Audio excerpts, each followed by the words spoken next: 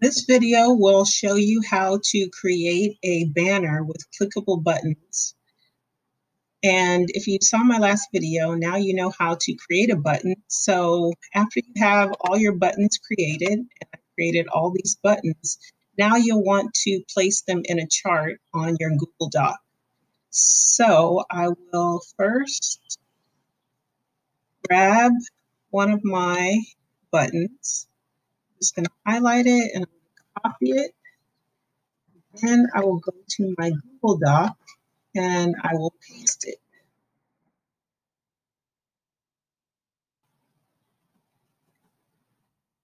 I will then make a chart, insert table, and maybe I want a three by two table. I will just drag my buttons into the chart. We'll center them. And I will try to make sure they are the same size.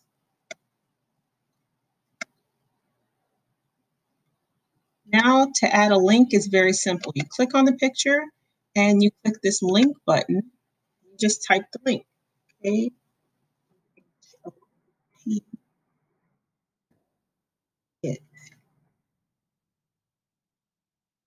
I would click apply. And I would do the same for this So I'm just going to move down here because this is the one that I've already set up. So I need to link on here. This is going to be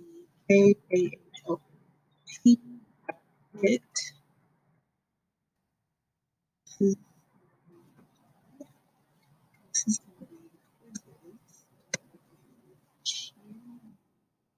the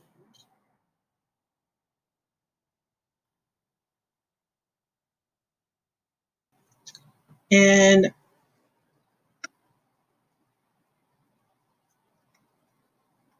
I've already set most of these up.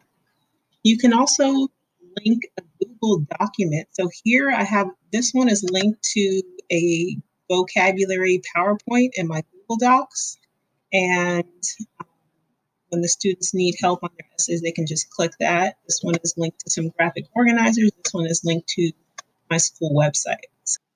Your next step would be to get rid of this chart. And what you would do is you would right click inside of the chart and you would select table properties and you would just change this color to white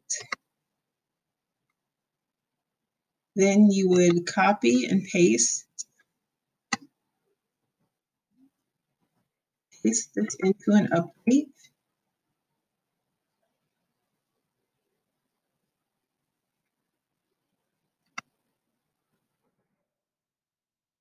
And you need to make sure that you click this little bell so it will stay at the top of your course. Once you post it, you can go to materials And this is what your students will see at the top of your course, and they will be able to go to the websites that you have linked.